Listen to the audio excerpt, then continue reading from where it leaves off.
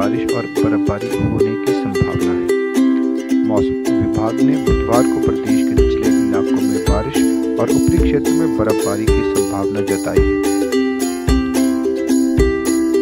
आज सुबह से आसमान में बादल छाए थे, जिससे तापमान में भारी गिरावट देखने को मिली। बादल छाने से ठंड में काफ़ी इजाफा हो गया है। शिमला में तापमान 6 डिग्री तक पहुँच गया। जबकि आने वाले दिनों में तापमान में और गिरावट दर्ज की जा सकती है। प्रदेश में लाहौल स्पीति में तापमान माइनस में चल रहा है।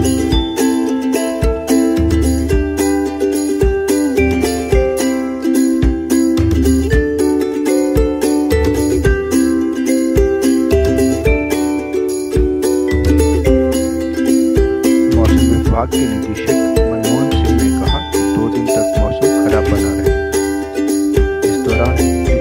इलाकों में बारिश जबकि कुल्लू, लाहौल स्पीति, किन्नौर और चंबा के ऊपरी क्षेत्रों में बर्फबारी हो सकती है। उन्होंने कहा कि मौसम खराब होने से तापमान में दो से तीन डिग्री तक गिरावट आई है, जिससे ठंड में काफ़ी इजाफा हुआ है।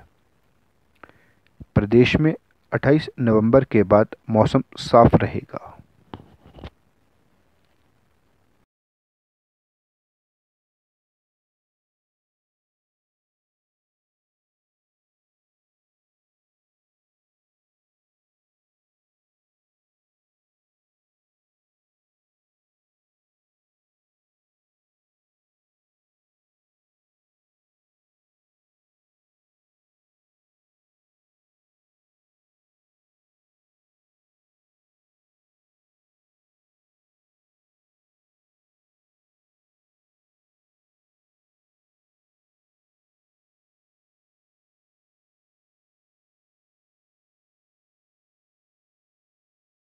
हिमाचल प्रदेश में आज और कल वेदर ख़राब हो सकता है। आज हिमाचल प्रदेश के स्कैटर्ड प्लेसेस पे फ्यू प्लेसेस पे बारिश या स्नोफॉल हो सकती है। ऊपरी इलाकों में स्नोफॉल और मिड हिल्स और लो हिल्स वाले इलाकों में बारिश होने की पॉसिबिलिटी है। कल को जो डब्ल्यूडी का इफ़ेक्ट थोड़ा सा ज़्यादा रहेगा।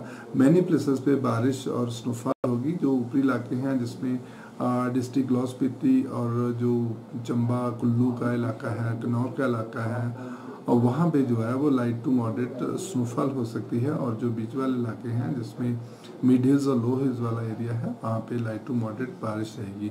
इन्हीं दो दिन में जो दिन का तापमान है, उसमें गिरावट रहेगी और उसके बाद अट्ठाईस डिग्री से मौसम जो है वो दोबारा से सामान्य हो जाएगा।